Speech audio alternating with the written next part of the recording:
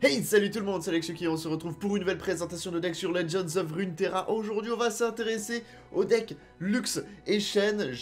J'essaie de faire un deck avec Shen depuis bien longtemps et avec son nouveau buff qui fait qu'il augmente son attaque, franchement la carte est un petit peu mieux, c'est toujours pas méta, mais c'est un deck que j'apprécie puisque ça joue autour de la mécanique des barrières, c'est-à-dire ces effets qui vous permettent de protéger vos créatures de dégâts adverses. Et du coup, on va comboter ce deck avec Lux et on va voir tout ça aujourd'hui.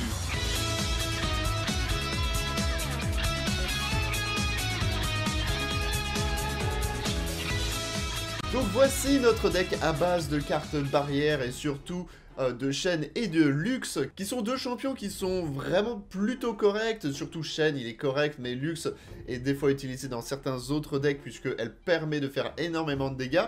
Donc déjà, Shen, son effet est que euh, en support, c'est-à-dire que la créature qui va être à sa droite, eh bien, va avoir un boost, c'est-à-dire qu'il va gagner barrière. Barrière, ça empêche une fois d'avoir des dégâts, euh, et les barrières restent seulement un tour. Et du coup, une fois qu'il a vu des alliés bénéficier de 4 barrières, eh bien, il peut évoluer, et sa version évoluée dit que eh bien, tous les alliés qui obtiennent barrière vont avoir 3 points d'attaque en plus ce tour-ci. C'est toujours très très bien pour euh, le late game, pour faire énormément de dégâts à l'adversaire, surtout si en plus de ça vous mettez la formation d'acier rayonnant en late game pour booster tout le monde du coup euh, de barrière ainsi que de plus 3, plus 0 grâce à chaîne, vous allez faire extrêmement mal. Et aussi avec la gardienne de la verte clairière, qui est aussi une excellente carte dans ce deck. Elle coûte seulement 1 de mana, mais elle est incroyable. Lorsqu'un allié est protégé par une barrière, octroyez-moi plus 2, plus 0. C'est un petit peu malheureux que ses points de vie n'augmentent pas, mais généralement on va lui donner une barrière pour qu'elle résiste justement aux dégâts. Et cette carte peut rapidement snowball, puisque si elle est là dès le début de la partie et que l'adversaire n'arrive pas à la gérer, vous pouvez mettre des barrières dessus ou sur vos alliés pour, que son attaque augmente énormément au, fur et à mesure de la partie. Des fois, elle va arriver à plus de 10 points d'attaque. Et après, on peut la comboter avec le soutien indéfectible. C'est-à-dire que si vous mettez 5 créatures et que votre adversaire n'en a que 4, eh bien votre adversaire va bloquer 4 de vos créatures et il y en a une qui va pouvoir attaquer directement l'adversaire. Et vous allez faire soutien indéfectible pour switcher la créature qui peut attaquer directement l'adversaire et votre gardienne de la verte clairière qui combat une autre créature. Vous allez les switcher et du coup c'est la gardienne de la verte clairière qui va pouvoir attaquer le Nexus adverse, les points de vie adverses et faire énormément de dégâts. Et en plus de ça, le soutien indéfectible donne des barrières, donc du coup ça fera plus 4 points d'attaque à la gardienne.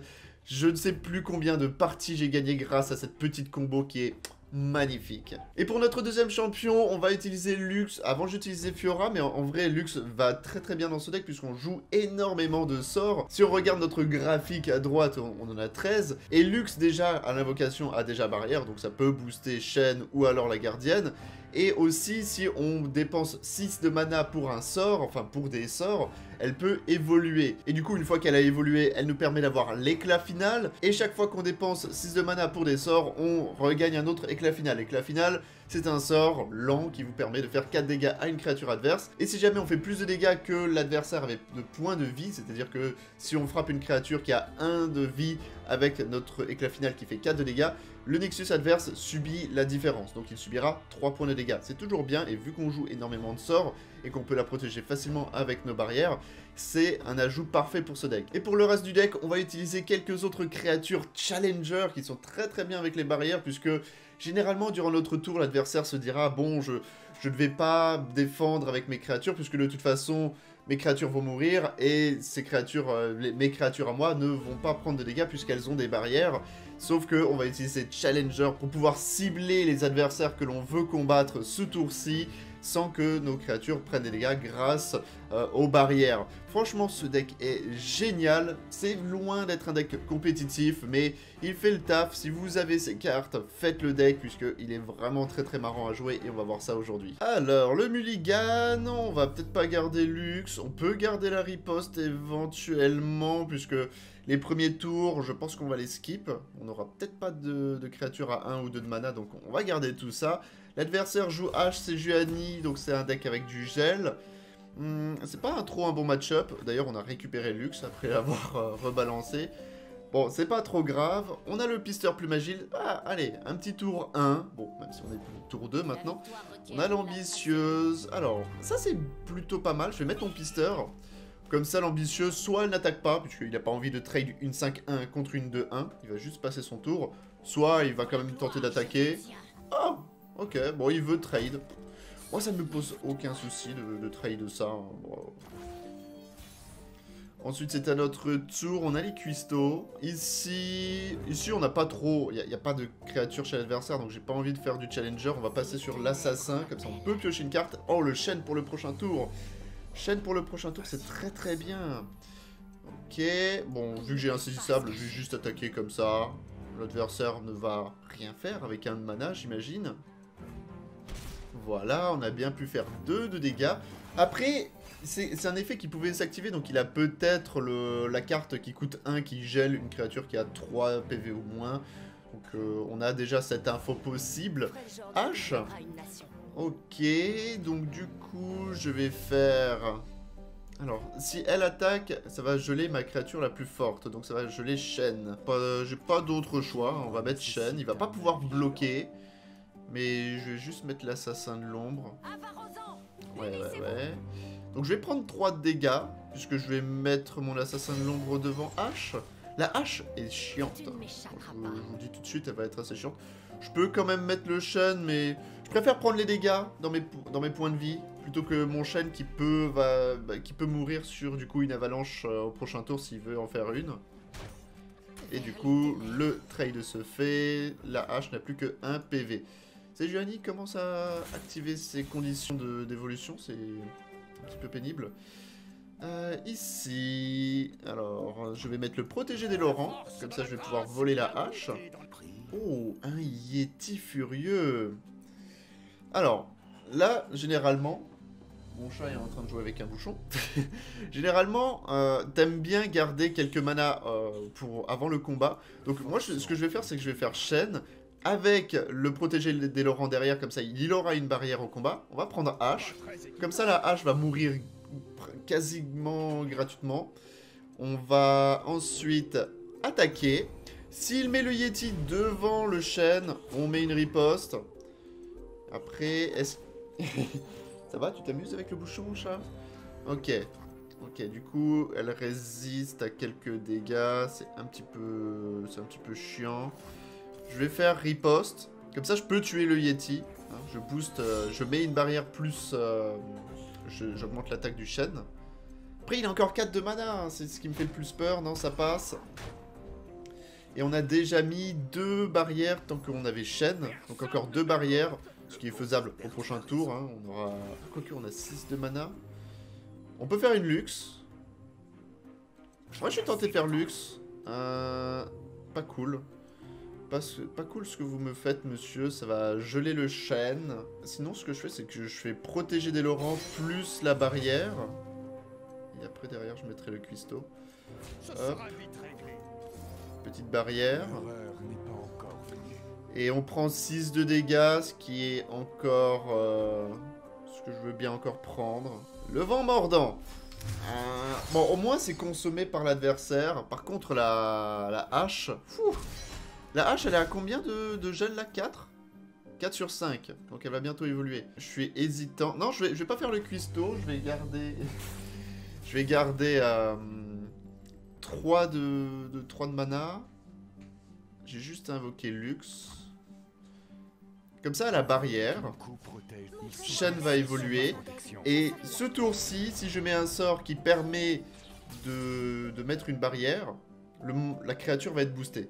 Archer du Val gelé Oh non Et voilà, H qui évolue. Ah.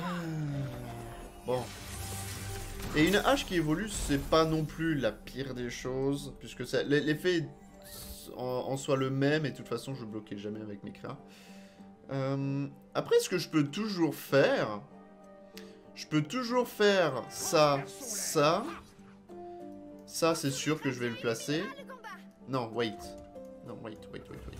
On fait pas, ça comme ça, on fait ça comme ça pour gagner un petit peu de, de ressources. Et on attaque. Comme ça. Hop, le chêne donne la barrière au protégé des Laurents. Donc du coup, il gagne 3 points d'attaque. Il peut toujours tuer la hache. Il a encore 5 de mana. Qu'est-ce qu'il y a, chat? Bon, il va attaquer mon poster. Tu, tu n'attaques pas Tokyo Ghoul, s'il te plaît. Voilà. Alors, il va défendre avec ça. Est-ce que j'ai... En soi, j'ai pas envie d'utiliser une barrière tout de suite. Ça ne sert à rien, juste pour pas prendre 3 dégâts. Allez, je vais laisser ça passer. Si jamais Shen devrait subir des dégâts d'une attaque, on lui mettra une barrière avec nos, cartes. Mais autant les garder, autant garder un maximum de ressources ici, ce n'est pas nécessaire de le protéger. Il peut prendre les 3 dégâts. regarde. Euh, passer. Après, là, Lux, au prochain tour, on peut éventuellement bénéficier de son évolution. Waouh Avec le soutien indéfectible en plus. Oh là, les gars, on est plutôt pas mal. On va pouvoir faire évoluer Lux, de manière quasi sûre. Je peux même faire un lancier juste avant. Une ambitieuse. Ah là, il va, falloir, il va falloir beaucoup de barrières en vrai. je pense qu'il va falloir beaucoup de barrières. J'ai 11 à utiliser. Donc je peux faire 3 barrières avec tout ce que j'ai en main. Donc je peux genre faire une riposte, refuge, plus barrière prismatique de luxe. Ou alors je peux juste faire euh, soutien plus un, autre sort. Donc euh, on, va passer.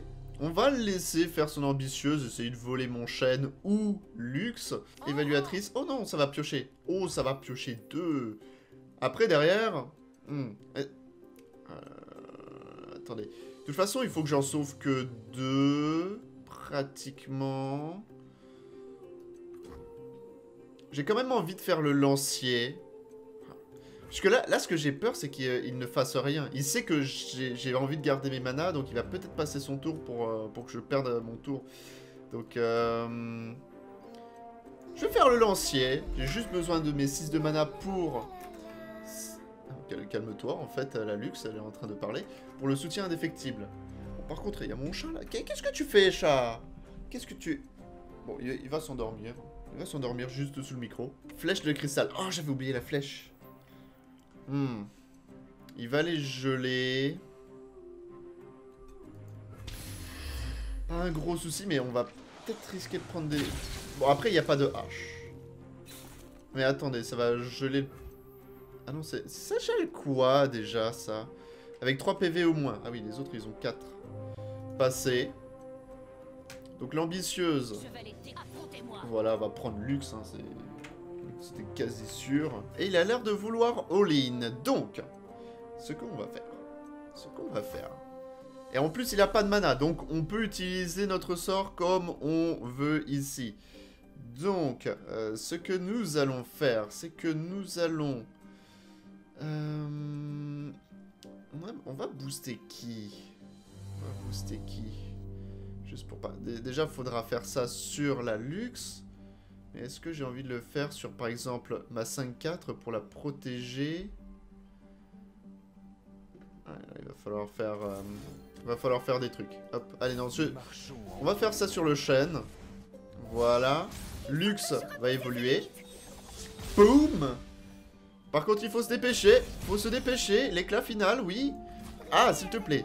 Euh, hop. On va mettre ça là. On va mettre ça là. On va mettre ça là. On va prendre que 3 dégâts. Je pense qu'on est pas mal. Euh, il y a juste ma 5-4 qui va mourir. Mais lui, il va perdre euh, plein de créas. Hein. Il en perd 3. Et c'est les 3 plus grosses en plus. Et là, ce qu'on peut faire, c'est éclat final. Oh, l'adversaire s'est rendu Il s'est rendu compte que derrière, on avait l'éclat final.